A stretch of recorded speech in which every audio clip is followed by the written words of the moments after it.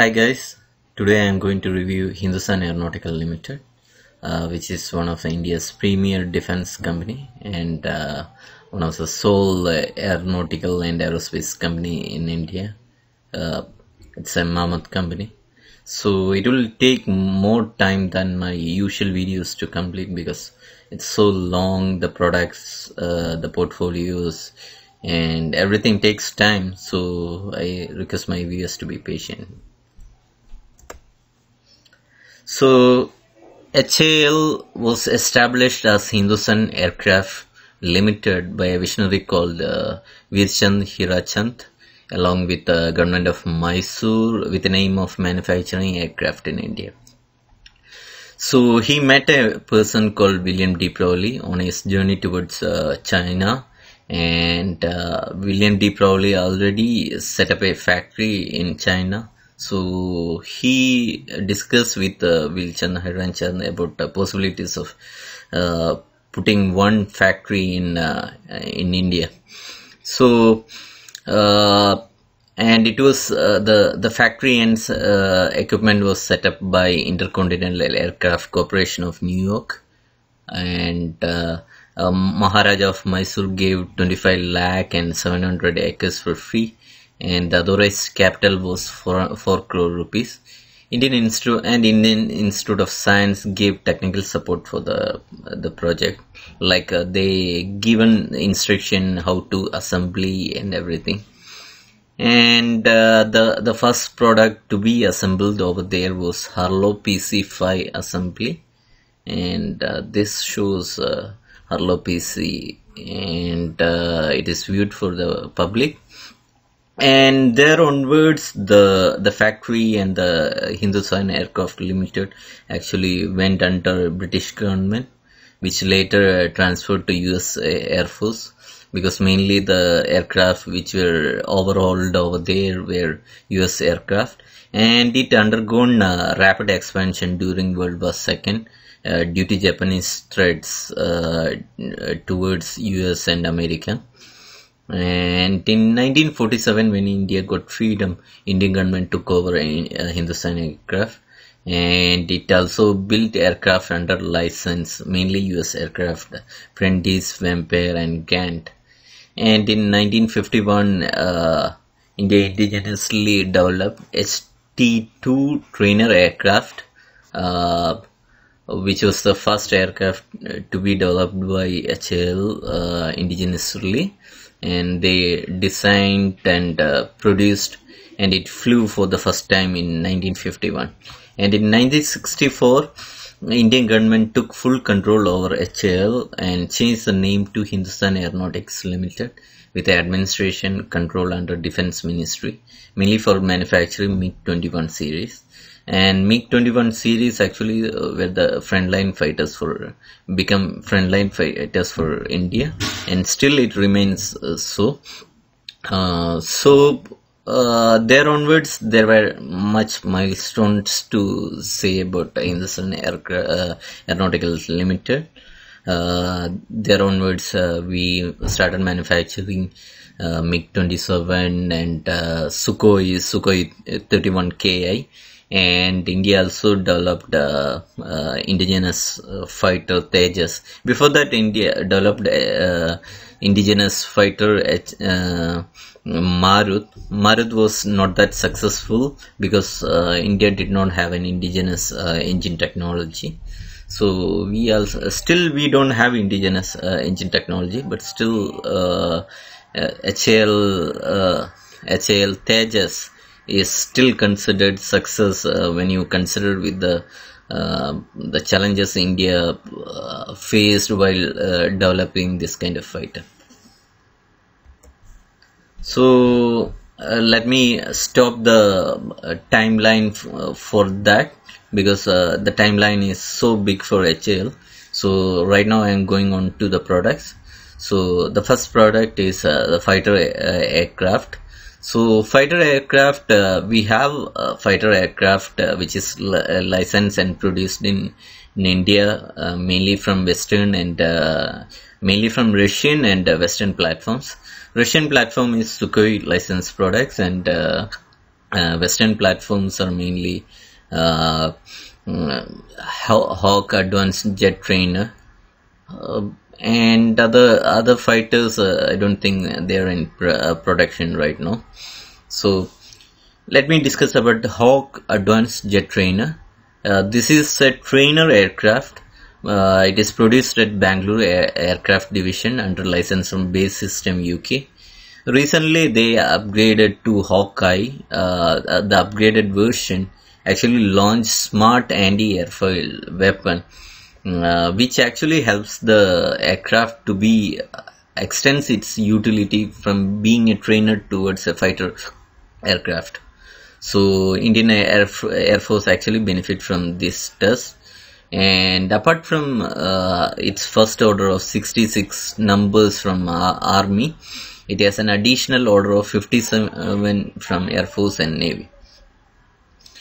And next one is LCA Tejas. Uh, Indian Air Force have a separate division in Bangalore for producing LCA Tejas, which, which actually passed uh, final operation clearance and uh, uh Defense Ministry signs order worth uh, 6.58 uh, billion for 73 new Mark 1A LCA and uh, 10 two-seater jet trainer trainer jets and it uh, uh, it is indigenously uh, designed and produced. Even though it took so many years it's still considered success given the uh, challenges india faced in developing it.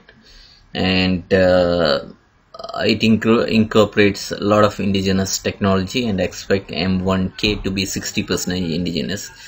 Uh, m1k is much advanced version than the the initial versions and MK2 which is a uh, more bulkier and heavier fighter uh, which is uh, supported by twin engine uh, is expected to be more uh, agile and uh, more powerful than the LCA Tejas MK1 so it expect to be to be completed in 2023 and there is Sukhoi licensed products they do um, they started with mig 21 which is a frontline tactical interceptor fighter for india and it is expected to be replaced by tejas. And they have mig 27 which is also a tactical fighter. And uh, the main fighter uh, the heavier uh, air superiority fighter sukhoi mk 30 mki uh, with a long range and uh, long endurance and multi-role fighter. It is also produced at Nasik division. Uh, all these products are actually licensed from Russia to produce in India. And now I am going on to next product which is helicopters. Uh, first one is Chetak. Uh, it is the first helicopter manufactured in uh, in India with the license from Sud Aviation, which is uh, part of Airbus France right now. It has a utility of commuting, cargo movement, search and rescue mission. Uh, it is so it has been sold more than 350 numbers. It has a recent export order from uh, Ministry of Defense Namibia and Suriname. And next one is Cheetah helicopter. It is a high performance helicopter. Uh, it has been used in high altitude uh, mission rescue operations, surveillance, and so on. It's mainly for uh, high uh, high altitude uh, flying, and it has uh, it has records for high altitude flying. It's has been licensed from SNIAS Eurocopter France in 70s, and there is Cheetal helicopter. Cheetal helicopter, it is re-engineered version of Cheetah which is uh, re-engineered for high altitude uh, function and our own operational requirements like uh, the maintainability factors it consumes less fuel and other custom features which is suited for Indian uh, climatic climatic and uh, um, geographical conditions. And HAL delivered around 10 Cheetal fighters for Indian Air Force in Leh region which is in uh, which is in uh, Jammu, uh, Jammu, I mean uh, Ladakh, and uh, there is Lancer. In 1990s, HAL developed their first indigenously attack helicopter. The basic structure was actually developed from Cheetah helicopter. Now it is a three kind of helicopters. These are all indigenously developed and indigenously designed and developed helicopters by HAL. And first one is Dhruv. It's a multi-mission twin engine uh, twin engine helicopter, and it is certified for uh, military and civilian purpose. And it is in right now it is in production. Uh, from 2004 onwards, it's on production and around 228 helicopters uh, have been made 206 for armed forces only and uh, 159 orders still there in order to supply for uh, army and indian air force so it's also used for civilian purposes uh, main customers include ONGC, GSI and it is exported for uh, nepal army mauritius uh, police and other customers too and there is Rudra, which is a weaponized uh, version of uh, Dhruv helicopter. Uh, it has facilities like anti-tank uh, attack uh, uh, facilities and fire support and so on. And there comes light utility helicopter. it's a new generational helicopter. it's it's also designed and developed for the replacement indigenously developed uh, for the replacement of Cheetah and Chetak helicopters. Uh, because it is a new gen helicopter, it has features like glass co cockpit, multifunction display, single turbo shaft engine for high altitude thrust, and it has a flying uh, speed of 220 km per hour with uh, 350, 350 kilometers of range with a 500 kg payload. It's a multi-role helicopter and uh, as uh, Indian aircraft needed a dedicated combat he- helicopter, they also designed and developed a light combat helicopter. It has a stealth and armor protection uh, uh facilities, and uh, it has ammunition like air-to-air missiles, air-to-ground missiles, and machine gun. Then we have uh, they also produce other one uh, transport aircraft, uh, D DO228 aircraft or Dornier aircraft from their Kanpur uh, division. It's a 19-seater multi-purpose light transport aircraft. Uh, it has utility like uh, commuter transport, uh, coast guard and maritime operations they are using and military roles as well. So it's a highly fuel efficient and it has uh, features of uh, excellent takeoffs and flying capabilities. And uh, it also produces accessories for um, aircraft uh, helicopters and uh, drone aircraft.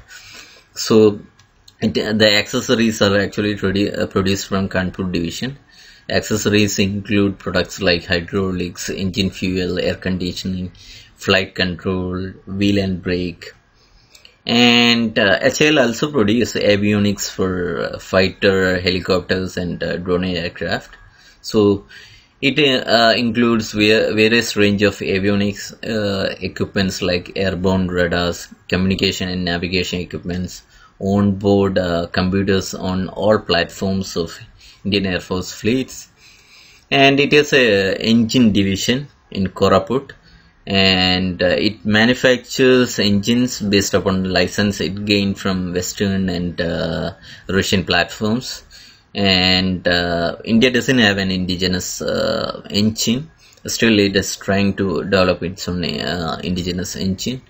And uh, they also overhauls engine as well and the overhaul division in Bangalore, it's the oldest uh, division. I just told you it started in 1940s with uh, servicing American air, uh, aircraft and uh, helicopters. It's the oldest division that started in 1940s. It has star, uh, serviced over 4,000 aircraft and 6,500 piston engines with an experience of 70 years. It is an aerospace division a uh, so this aerospace division uh, manufactures hardware for aerospace programs for India and supplies uh, mainly ISROs programs. Uh, the products include uh, aluminum uh, alloy riveted structure and other hardwares for rockets. Because they they manufacture and service aerospace engine aeronautical and uh, uh, aeronautical engines they also uh, manufactures industrial and marine gas turbine which is also similar to the aircraft engines so this include industrial Avon MK1535 engine, 501K engine, and one more engine as well. So if you see who uses it, uh, there are uh, customers in oil and uh, natural gas division. There are also other industrial customers. Uh, example is ONGC uses 34A1 MK 1535 engine in Mumbai offshore. Uh, we don't uh, i try to gather as much data from HAL like how much revenue goes for e uh, how much revenue it gains from each product and so on but i couldn't find as much data uh, of uh, products and the revenue shared by each product. So i have this uh, production that uh, the company made in 2019 2020 in 2019-20, company produced around 31 new aircraft and helicopters, which include Sukhoi, uh, Tejas, Dornier, and uh, other helicopters. It also produced uh, 170 new engines and accessories. Company had overhauled uh, 201 platforms, uh, uh, which is various type of aircraft, and it had overhauled 486 aero engines of uh, Russian and Western or origin. If you see the, ex exports of HAL mainly include uh, aerostructures, that is um, something like doors for uh, Boeing and uh, uh, Airbus and so on. And they also include Dornier aircraft, helicopters, engines, avionics, and accessories sorry. Let's see the new initiative from HAL uh, uh, for the new year to come. So uh, they started uh, manufacturing testing and integration of bombs and missiles for various fighter jets and uh, helicopters even indigenous and uh, western and russian platforms. They ventured into uh, overhauling of civil aircraft and uh, MRO of uh, civil aircraft and helicopters, which is mainly overhaul or repair functions. And they signed agreement for design, development, and certification, production, marketing, and life cycle maintenance of 19-seater Saras MK second aircraft.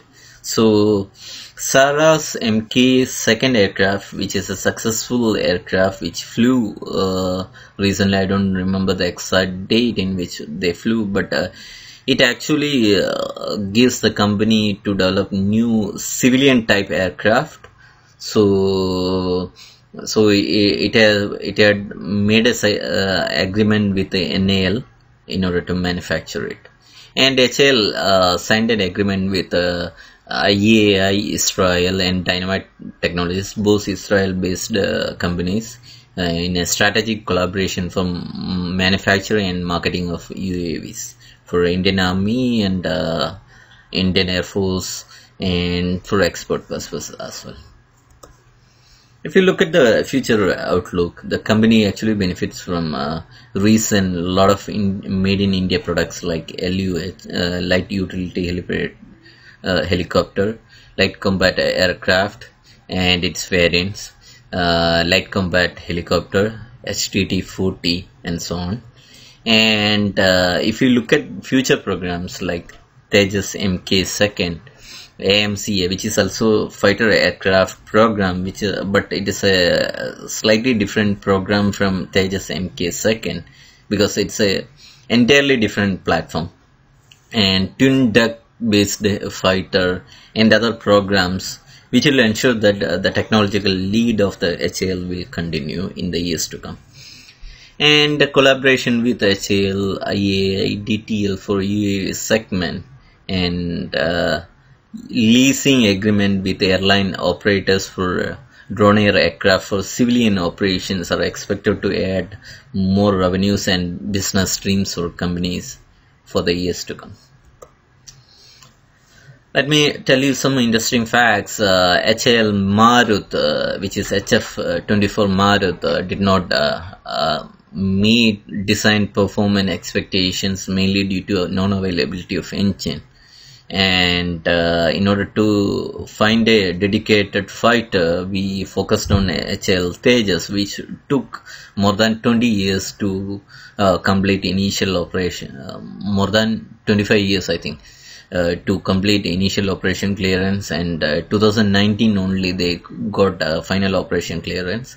But given the hurdles it had gone through and uh, given the technological challenges um, scientists face i still consider it as a major success for india and it will be a, a good initiative in making india india initiative in the years to come and HAL helicopter division has successfully manufactured 600 single engine helicopter which is an achievement. And the Cheetal helicopter uh, set a world record of uh, world's highest landing in Saser Kangri in Himalayas in 2006 and uh, they made final operational clearance for Jaguar Darin 3rd which is a western platform license for India and it is an upgraded version they go it got a final operation clearance and uh, there is also initial operational clearance for light utility helicopter which is both are positive for HAL. Let's see the shareholding pattern. Uh, the Indian government or President of India was holding the major shareholding as a promoter. So, but in 2020 uh, September, they actually divested uh, the shareholding from 89 to 75 uh, which is a major dip in their shareholding. Uh, so still uh, government of india continues to be a major shareholder for the HAL and i think it should be it would be continued in the years to come because HAL is a, um, a strategic uh, business and if you see, foreign institutional investors actually increased their stake from 0.29 in 2018 to 0.91, which is positive. And uh, domestic institutional investors, they just hold uh, just holding around 8 percent in 2018 and they increased to 20.31 in uh, 2021 which means that they uh, the the business with the business profile of HAL is improving and uh, they are in a right track trajectory. And public shareholding also going up but not uh, uh, considerably like mutual funds have been increasing in that uh, range. Uh, i feels that one of the main reason for it HAL is a public i mean government of india supported company. So uh, the the reason uh, to I mean the the amount of uh, uh, price hike in the share price it's not that uh, bullish like a private company. So it might be one of the reason why public is not that interested in increasing shareholding. Let's do financial evaluation uh, it has a market capitalization of 3,200 uh, 2,116 crores, which is a large cap uh, share uh, company, and it has a current price of 960 when it has a book value of 480 18 per share. So, if you see the current price is actually double than its book value and uh, it went as high as 1424 per share in recent times. It uh, gone as 489 during uh, uh, financial year 2020 uh, i mean uh, february 2020 when all due to covid everything market crashed. It went as low as 489 and it is a stock PE of 11.3 uh, which is very low than uh, 20.4 what an uh, the defense industry actually um, uh, gets so from uh, stock PE the stock is undervalued and uh, look at the dividend yield. They are one of the uh, companies which give you more dividends. So any long-term investors, it's a it's a positive for them.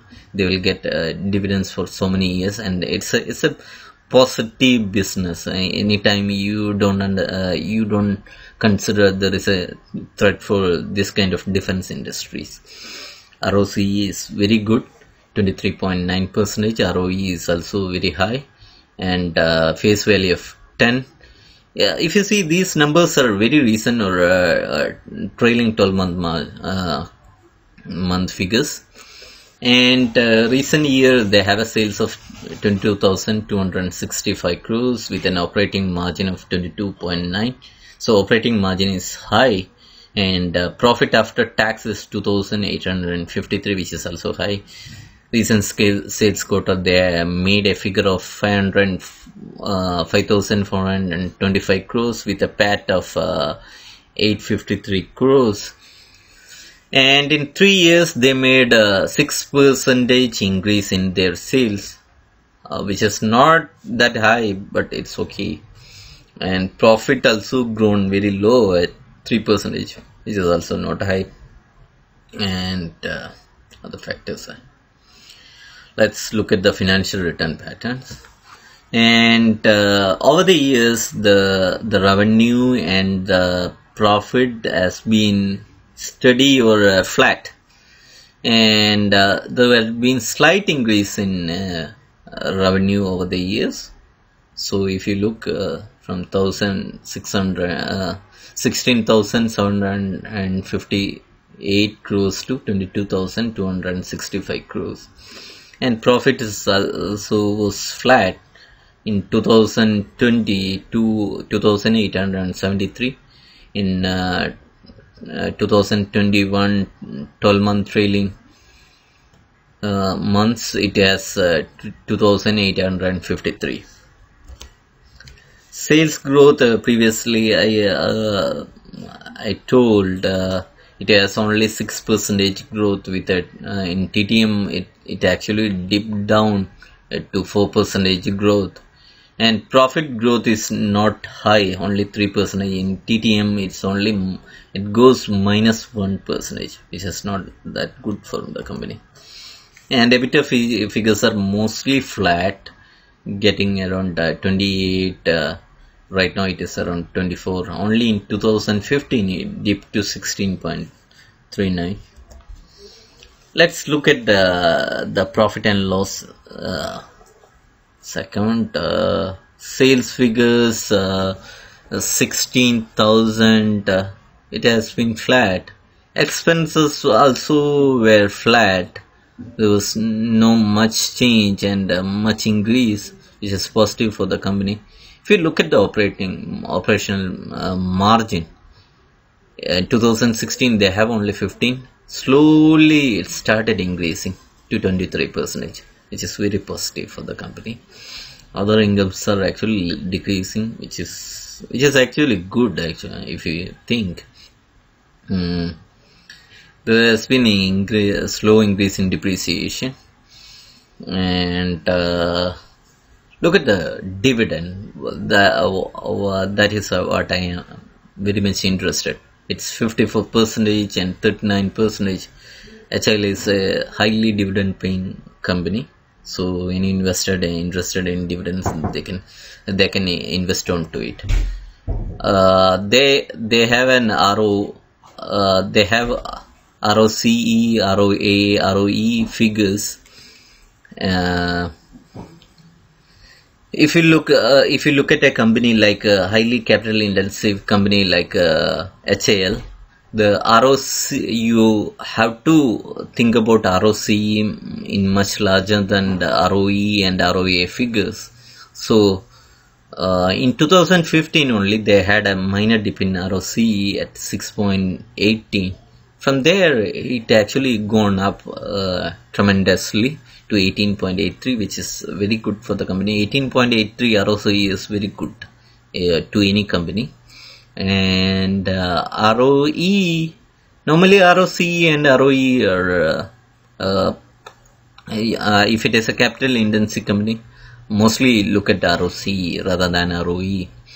And ROA, it's also flat or uh, steady, which means that the company is uh, steady in uh, utilizing its asset to increase its uh, revenues. Let's look at the risk factors of HAL. Uh, the cash flow and liquidity profile of HAL actually improved significantly in the financial year 2021 because the collections from its uh, customers which is mainly from ministry of defense and uh, forces actually gone up uh, to uh, 35000 crores. So it had a borrowing of 5775 crores in march 31st 2020 from there it went to uh, went to a surplus cash balance of uh, 7350 uh, uh, 7315 crores uh, as of March 31st 2021 which is highly positive for the company and the credit rating also reflected this factor so the long term fund based credit actually uh, got a credit rating upgrade to uh, ICRA uh, AA positive for their long-term fund-based credit of 1000 crores. Uh, they had two short uh, short-term uh, fund-based credit. Uh, one is non-fund based and one is commercial paper uh, of 2500 crores each. Both have ICRA A1 plus reaffirmed rating. And if you look at the the the positive uh, fact for the company uh, that's acting for the company the company operates in a highly high capital intensive and long gestation period for developing manufacturing cap uh, capabilities in this sector which is very positive for the company because uh, uh, the the larger competition for the company is very less. Or even uh, you can say they have a monopoly. But in the coming years that won't be there uh, but still it will continue to be a, a, major force in that industry. Let's see the business risk one of the main risk is uh, ministry of defense is the main uh, major customer and it contributes around 90 percent of the revenue. So if there is any delay in uh, collection from forces it will it will have to depend on external funding for its day-to-day operations even. Like uh, in 2019 HAL took a loan of 1000 crores to pay salaries for the employees. But in 2021 it was uh, the company was uh, had a positive events like uh, it had more collections so it went positive for the company. And there are uh, problems like cost overruns and production delay penalties. Like uh, for the for the sector the margins uh, for manufacturing aircraft and uh, helicopters are predefined. And uh, if there is uh, cost overruns mainly happening due to delays and there would be also associated penalties because of these uh, will affect the margins of the company. So these are the two main business risk companies facing, and uh, the business uh, risk from the competitors is actually you can say you can't say nil, but it is not considerably high, or uh, companies still have a moat in the industry debt to equity ratio it has a good debt to equity ratio in 2013 from there it uh, gone up uh, to 0.44 but still i think from if you consider tra- trailing 12 month margin it would have been come down. And interest coverage ratio also it was ha- had a tough time in 2019 and 2020 as well. From uh, previously they had a good interest coverage ratio uh, but in, I think that in uh, recent uh, uh trailing 12 month margin, the interest coverage ratio would have been high. I couldn't show it because uh, that was not available right now. And let's go to the valuation. One thing surprised me is over the years from 2013, the book value of the company has actually come down or even gone more than uh, half. So it has a book value of 1074 uh, rupees per share. It came uh, down to 305 actually which is the lowest one. And uh, in trailing 12 month margin it actually improved uh, book value. One thing uh, I think the reason for it, many of its technologies are going obsolete, like MiG-21 platforms is going to be obsolete and it has to be replaced by Tejas. So you have to write down, uh, write it off. So this write off might have been the reason. I, I don't know the exact reason, but I'm predicting that one. Actually, if you look at the price to book value, uh, it has a price to book value of 3.1 in 2018 0.6 in 2019 1.3 in uh, financial year 2020 and right now stands around 2.3 which is high. Little bit high but still okay. I, I would say okay given the mammoth company like HAL is. And uh, price uh, the previous thing only I shown that uh, price to earning ratio is 11.3 when industry at uh, 20.4 and price to book value is little high at uh, 2.3 if you make peer to uh, peer comparison you can actually compare you, uh, there there is no such uh, enterprise to compare. Like uh, but still you can compare with Bharat Dynamics and BEML which are in defense. And uh, if you see the price to earning ratio uh, it still have lower price to earning ratio comparing with Bharat Dynamics and BEML and uh, if you see the market capitalization is also high for Hindustan Aeronauticals so it's a big mammoth company when you consider that. And uh, mm, uh, look at the ROCE ROCE Bharat Dynamics is better than uh, Hindustan Aeronauticals so I think that that's why they actually uh, gets more uh, price to earning ratio than uh, Hindustan Aeronauticals so you can actually compare with uh, Hindustan Aeronautics and Bharat Dynamics rather than BEML. I feel so. So in uh, price chart uh, the company actually uh, when it is listed it was trading around 1200 from there it came down uh, in 2020 it went as low as uh, 480 something see the the lowest figure. From there it actually jumped up in 2020 20 august went as high as 1400 actually 1000 not 1293 and uh, still it came down but it's a stable business. So I expect the current market price at 984 still it's a viable uh, level. So let me give you my insights as an insight uh, current market price is at 984 it is a low P at uh, 11.3 when you compare with industry P of 20 and a uh, little bit overvalued uh, price to book value at 2.3 is but still I am I think that uh, uh, stock is at reasonable level. It's not an expense issue yeah? uh, that's a mistake from me and uh, it's uh, when you uh, say about positive about the company it's a mammoth company.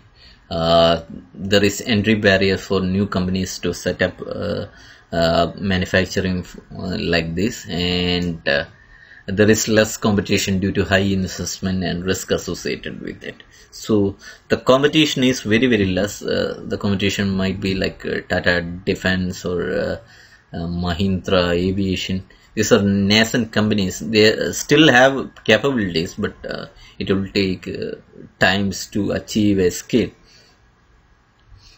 And in i think that investors can still buy the share. They can keep it for long term investment uh, for this price as well. And you will also expect a lot of dividends from the company. So i actually recommend for long term investors. I don't recommend for swing traders. So uh, even i don't think the the price would uh, uh i don't think the price would go to 800 levels. So swing trade i don't recommend it. And the main risk associated is uh, may, uh, single they have a single major customer which is ministry of defense. And they have less export revenues and other associated revenues so these are the risks. And there is also uh, risk from obsolescence of technologies. Like i said mig 21 uh, is phased out. So that technology is going uh, obsolescence.